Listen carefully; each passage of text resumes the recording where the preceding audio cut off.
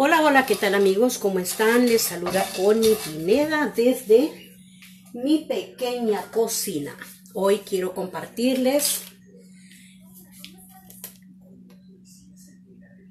Hello. ¿Hay alguien por ahí? Quiero compartirles la receta de cómo hago yo eh, tamales, el recado para tamales zacapanecos o guatemaltecos como quiera nombrarles, pero estos llevan algo diferente que los que hacen en la capital. Eh, vamos a ver cuántos se me van a acercar ahí a mi pequeña cocina.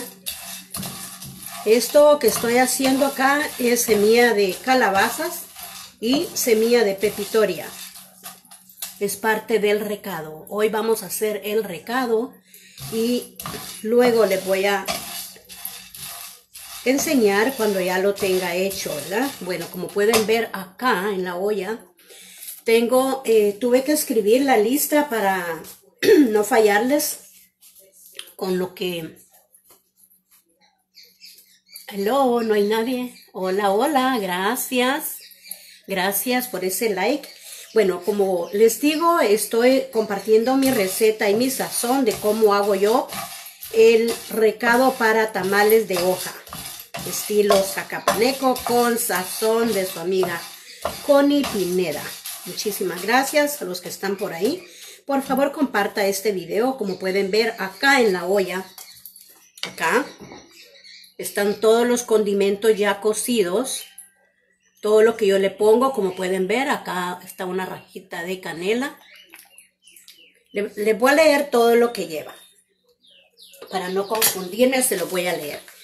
Lleva tomate rojo, mil tomate, le decimos nosotros al tomatillo, tomate verde, chile guajillo, chile pasilla, chile california, chile morrón, bell pepper o chile campana, chile dulce, como usted quiera nombrarle.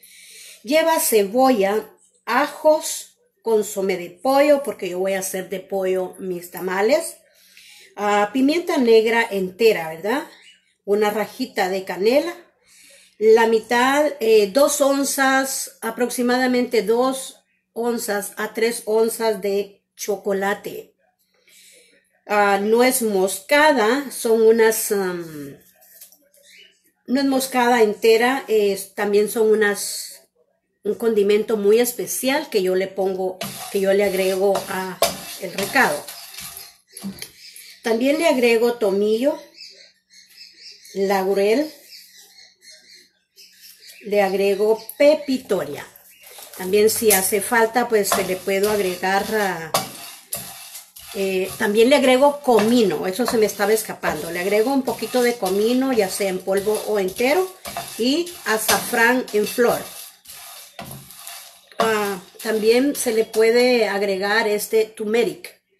Yo le agrego un poquito, pero todo es opcional de cómo ustedes lo prefieran. Ya acá lo tengo enfriando.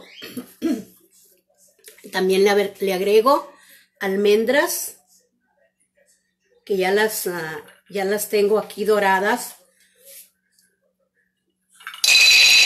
Ahí está, le pongo aproximadamente una taza de almendras.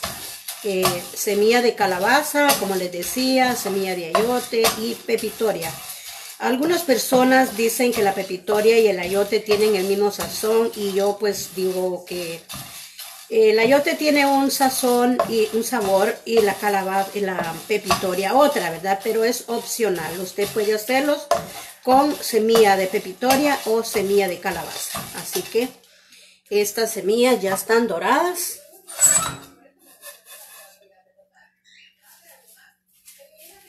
voy a poner ah, en otro trasto para... Voy a poner acá. Y luego luego le voy a agregar ajonjolí. Hoy me tocó que comprar. Usualmente yo compro el ajonjolí por libra pero hoy me tocó que comprarlo de esa manera. Y pues le voy a poner cuatro bolsas de ajonjolí cuatro bolsitas que equivalen a una onza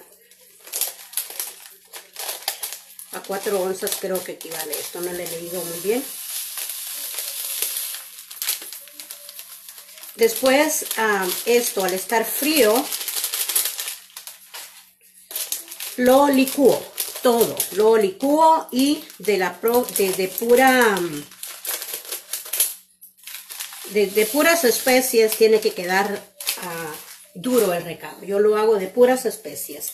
Pero en caso que el recado le quede, necesite espesarlo, le puede agregar harina de arroz. Así que todas las personas que están ahí viéndome, eh, muchísimas gracias por estar ah, visitando la página de la página de la cocina de Connie. Muchísimas gracias y quiero hacer otro video después cuando ya haya licuado todo esto para enseñarles cómo lo voy a cocer porque esto lo tengo que cocer de nuevo y le tengo que agregar aceite ya no es esto licuado todo con las semillas va a espesar yo quiero enseñarles eso y en caso me toque que espesarlo más eh, le voy a poner harina de arroz esa es la manera como yo lo hago. Si ustedes tienen otra idea de cómo los hacen, déjenme ahí su receta también en mi página que yo estaría encantada de que ustedes me compartan, ¿verdad? Ya que la receta de ustedes puede ser muy importante para mí y juntas aprendemos. Recuerden esto, que la cocina es un arte donde cada quien le da su propio sazón, ¿verdad? Pueden haber tres personas haciendo la misma comida al mismo tiempo, con los mismos ingredientes, pero cada una tiene su sazón. Personas le echan más, otras le echan menos, otras no le ponen, en fin, es un arte completo.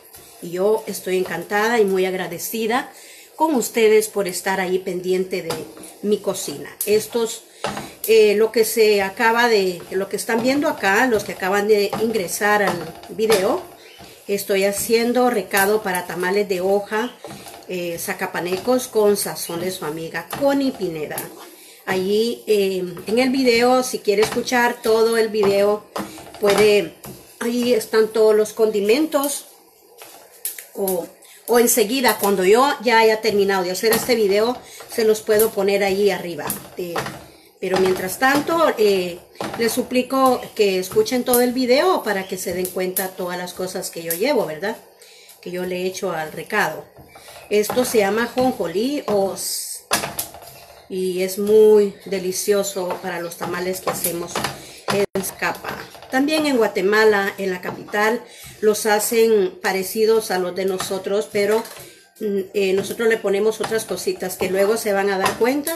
Hoy yo estoy haciendo tamales porque mañana cumplo años y pues quiero saborearme un tamal para mi cumpleaños.